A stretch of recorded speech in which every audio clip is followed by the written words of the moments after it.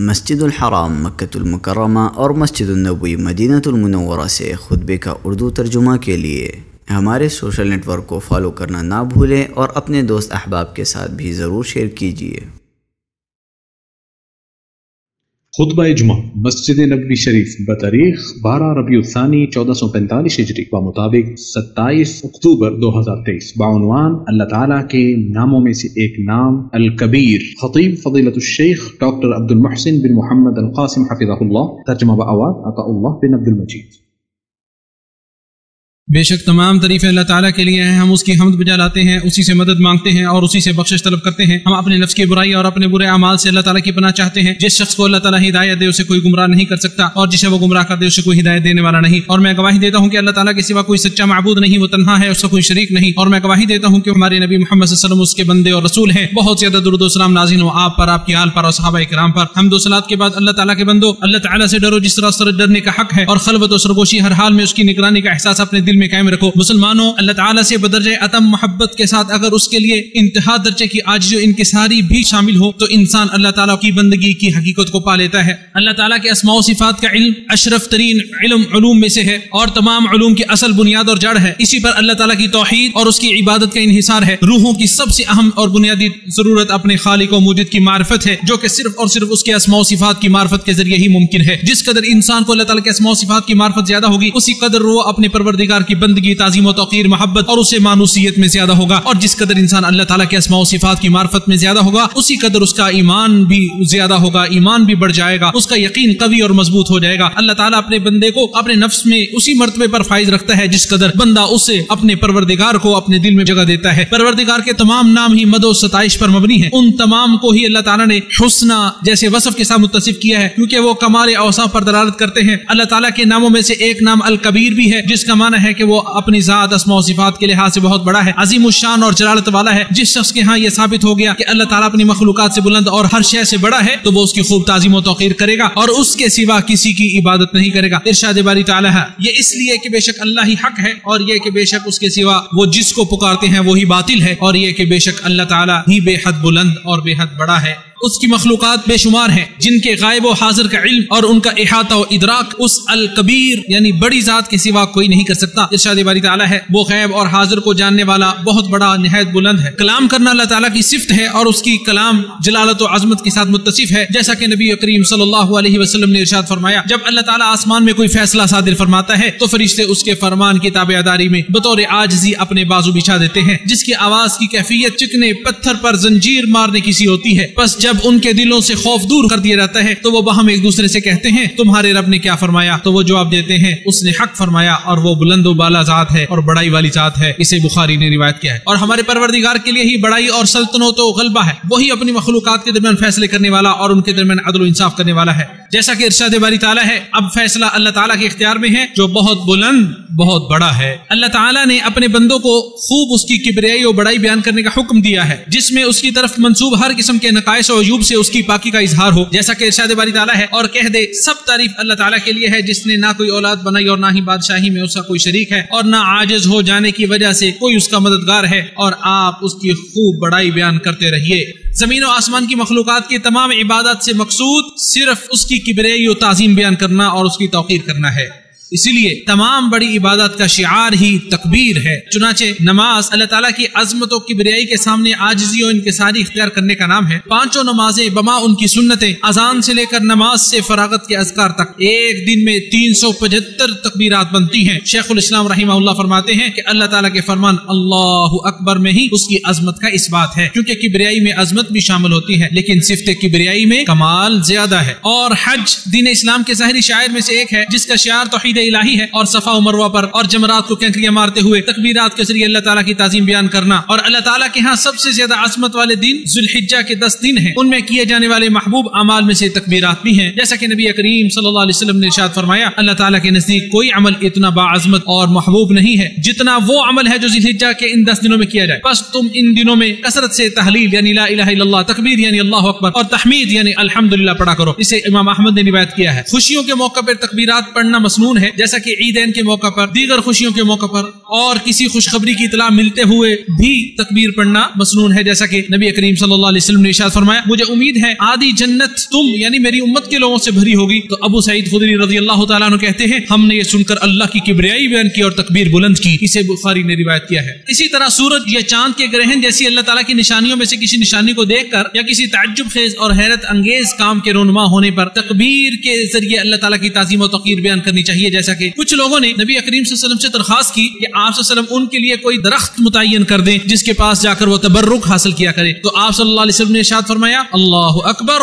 یہ تو اسی طرح ہوا جس طرح بنی اسرائیل نے کہا تھا۔ جیسے اللہ تعالیٰ فرماتا ہے انہوں نے کہا کہ ہمارے لیے کوئی معبود بنا دے جیسے ان کے کچھ معبود ہیں۔ سفر کا آغاز کرتے ہوئے کبھی انسان کو حزن و ملال، غم اور خوف کی کیفیت لاحق ہوتی ہے۔ تو اس وقت تکبیرات کے ذریعے اللہ تعالیٰ کی تعظیم و توقیر بیان کرنا مسافر کے لیے رفیق سفر اور خوف زدہ شخص کے لیے باعث اطمینان ثابت ہوتا ہے۔ جیسا کہ نبی کریم صلی اللہ علیہ وسلم سفر پر نکلتے ہوئے جب اپنی سواری پر سوار ہوتے تو تین بار اللہ اکبر اللہ اکبر اللہ اکبر پڑھا کرتے۔ اسے مسلم نے روایت کیا ہے۔ اور ہر قسم کی عظیم مخلوقات بلند جگہوں وغیرہ کو دیکھ کر بھی تکبیر پڑھنا مشروع ہے۔ جیسا کہ جابر بن عبداللہ رضی اللہ عنہما کہتے ہیں، ہم جب بلند جگہ پر چڑھتے تو تکبیرات کہتے۔ اسے بخاری نے روایت کیا ہے۔ یعنی جب کسی بلند زمین پر چڑھتے تو تکبیرات پڑھتے۔ اور ایک مسلمان اپنے دن کا اختتام تکبیرات سے کرتا ہے۔ جب اپنے بستر کی جانب بڑھتا ہے تو اپنے رب کی تسبیح و تحمید تینتیس تینتیس بار پڑھتا ہے۔ اور اس کی تکبیر یعنی اللہ اکبر چونتیس بار پڑھتا ہے۔ بڑے مقامات اور عظیم جگہوں پر تکبیر پڑھنا بھی مشروع ہے۔ ہدایت ایسی نعمت ہے جس پر شکر ادا کرنا چاہیے۔ اس کا شکر یہ ہے کہ انسان تکبیرات پڑھے کہ اس کے مالک نے اسے اپنے دین کے معالم کی طرف نشاندہی کر دی ہے۔ جیسا کہ ارشاد باری تعالیٰ ہے ہر گز اللہ تعالیٰ کو ان قربانیوں کے گوشت اور خون نہیں پہنچتے، لیکن اسے تو وہ تقوی پہنچتا ہے جو تمہارے اندر ہے۔ اسی طرح اللہ تعالیٰ نے ان جانوروں کو تمہارے لیے مسخر کر دیا تاکہ تم اللہ تعالیٰ کی تکبیرات بیان کرو، اس پر جو اس نے تمہیں ہدایت دیا ہے۔ اور اسی طرح اس کا شکر یہ ہے کہ اس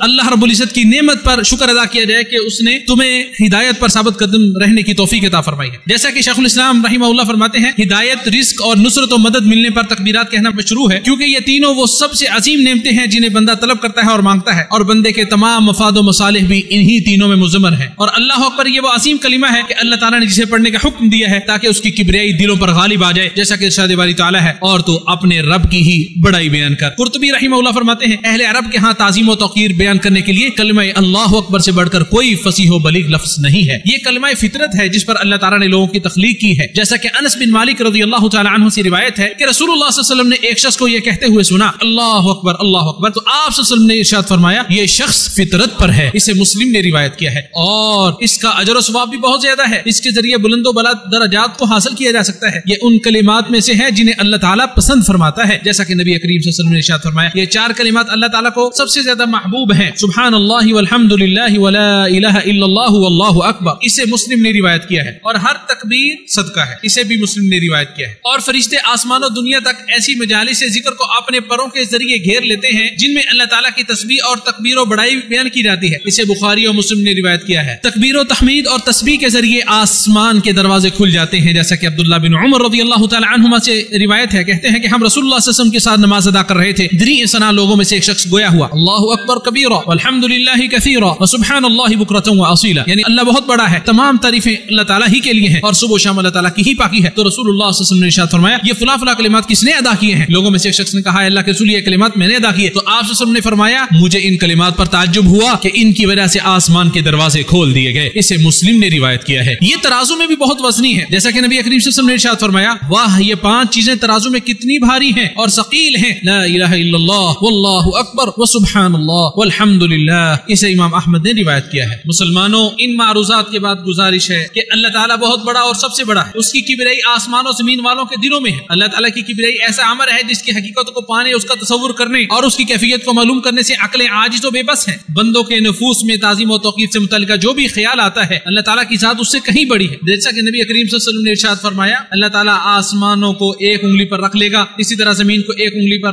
درختوں کو ایک انگلی پر، پانی اور مٹی کو ایک انگلی پر اور تمام مخلوقات کو ایک انگلی پر۔ پھر فرمائے گا، میں ہی بادشاہ ہوں۔ اسے بخاری اور مسلم نے روایت کیا ہے۔ اور مومن اس رب کبیر پر توکل و بھروسہ کرتا ہے۔ اپنے معاملات اسی کے سپرد کرتا ہے اور اس اکیلے کو ہی پکارتا ہے اور اسی سے اپنا تعلق رکھتا ہے۔ ارشاد باری تعالیٰ ہے، اعوذ باللہ من الشیطان الرجیم۔ اور انہوں نے اللہ کی قدر نہیں کی، جو اس کی قدر کرنے کا حق ہے۔ حالانکہ زمین ساری قیامت کے دن اس کی مٹھی میں ہوگی اور آسمان اس کے دائیں ہاتھ میں لپیٹے ہوئے ہوں گے۔ وہ پاک ہے اور بہت بلند ہے، اس سے جو وہ شریک بنا رہے ہیں۔ اللہ میرے اور آپ کے لیے قرآن عظیم کو باعث برکت بنائے۔ اس کی آیات اور ذکر حکیم سے ہمیں نفع پہنچائے۔ میں نے جو کہا آپ لوگوں نے سنا، میں اپنی بات کو مکمل کرتا ہوں، اپنے لیے اور آپ سب کے لیے استغفار کرتا ہوں۔ آپ بھی استغفار کرو۔ یقیناً وہ بہت بخشنے والا مہربان ہے۔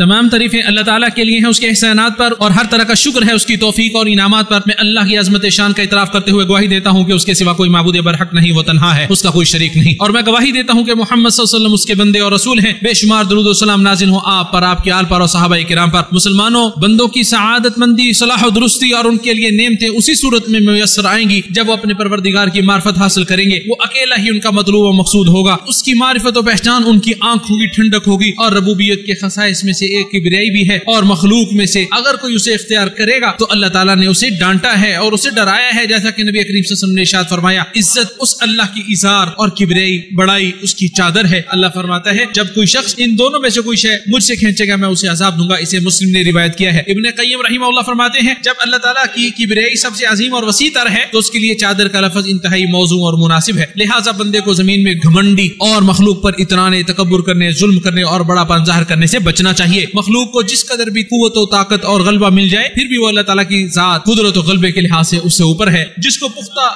یقین اور علم ہو جائے کہ اللہ تعالیٰ ہی کبیر ہے، تو اس کی خشیت الہی میں اضافہ ہو جاتا ہے۔ چنانچہ وہ اس کی تعظیم کرنے لگتا ہے، وہ اسے محبت کرنے لگتا ہے، احسن طریقے سے اس کی عبادت انجام دیتا ہے۔ اس کے دل سے تکبر، عجب خود پسندی اور ریاکاری جاتی رہتی ہے۔ اور جنت تو اللہ تعالیٰ نے بنائی ہی اپنے آجز و انکسار مومن بندوں کے لیے ہے۔ جیسا کہ ارشاد باری تعالیٰ ہے، وہ آخرت کا گھر جنت ہم انہیں دیں گے جو نہ زمین میں کسی طرح اونچا ہونے کا ارادہ کرتے ہیں اور نہ کسی فساد کا اور اچھا انجام متقی لوگوں کے لیے ہے۔ پھر جان لیں کہ اللہ تعالیٰ نے آپ سب کو اپنے نبی صلی اللہ علیہ وسلم پر درود السلام بھیجنے کا حکم دیا ہے۔ چنانچہ قرآن مجید میں ارشاد باری تعالیٰ ہے، اللہ تعالیٰ اور اس کے فرشتے نبی صلی اللہ علیہ وسلم پر رحمتیں بھیجتے ہیں۔ اے ایمان والو، تم بھی ان پر درود بھیجو اور خوب سلام بھی بھیجتے رہا کرو۔ اے اللہ، ہمارے نبی محمد صلی اللہ علیہ وسلم پر درود السلام اور برکت نازل فرما۔ اے اللہ، خلفائے راشدین ابو بکر، عمر، عثمان و علی رضی اللہ عنہم سے راضی ہو جا، جنہوں نے حق و انصاف کے ساتھ فیصلے کیے، بلکہ تمام صحابہ کرام سے راضی ہو جا۔ اپنے جود و کرم کی بارش کرتے ہوئے ان کے ساتھ ساتھ ہم سے بھی راضی ہو جا۔ اے سب سے زیادہ عزت افزائی کرنے والے، اے اللہ اسلام اور مسلمانوں کو عزت و غلبہ عطا فرما۔ شرک اور مشرکوں کو ذلیل و رسوا فرما۔ دشمنان دین کو تہس نہس کر دے۔ اے اللہ، اس ملک کو اور تمام اسلامی ممالک کو امن و امان اور خوشحالی کا گہوارہ بنا دے۔ اے اللہ، ہمارے امام اور ان کے ولی عہد کو اپنے پسندیدہ کاموں کی توفیق عطا فرما۔ نیکی و تقوی کے کاموں پر لگا دے اور ان کے ذریعے اسلام اور مسلمانوں کو فائدہ پہنچا۔ اور ان کے ولی عہد کو اپنے پسندیدہ امور کی توفیق عطا فرما۔ نیکی و تقوی کے کاموں پر لگا دے ان کے ذریعے اسلام و مسلمانوں کو فائدہ پہنچا۔ اے سارے جہانوں کے پالنہار، تم مسلمانوں کے تمام حکمرانوں کو قرآن پر عمل کرنے اور تیری شریعت کو لاگو کرنے کی توفیق عطا فرما۔ اے ہمارے پروردگار، ہمیں دنیا و آخرت میں بھلائی عطا فرما اور عذاب جہنم سے نجات عطا فرما۔ اے ہمارے رب، ہم نے بڑا نقصان کیا اور اگر تو ہماری مفرت نہ کرے گا اور ہم پر رحم نہ کرے گا، تو واقعی ہم نقصان پانے والوں میں سے ہو جائیں گے۔ اے اللہ، ہم پر بارش نازل فرما۔ اے اللہ، ہم پر باران رحمت کا نزول فرما۔ اے اللہ، ہمیں قانتین مایوس لوگوں میں شامل نہ فرما۔ اللہ کے بندو، اللہ تعالیٰ عدل کا، بھلائی کا اور قرابت داروں کو مالی تعاون دینے کا حکم دیتا ہے اور بے حیائی کے کاموں نشائش حرکتوں ظلم و زیادتی سے روکتا ہے۔ وہ خود تمہیں نصیحت کر رہا ہے کہ تم نصیحت حاصل کرو اور وہ اللہ جو عظمت اور جلال والا ہے اسے یاد کرو، وہ تمہیں یاد کرے گا، اس کی نعمتوں پر اس کا شکر ادا کرو، وہ تمہیں اور زیادہ عطا کرے گا۔ بے شک اللہ تعالیٰ کا ذکر بڑی چیز ہے جو کچھ تم کر رہے ہو، اللہ تعالیٰ اس سے بخوبی باخبر ہے۔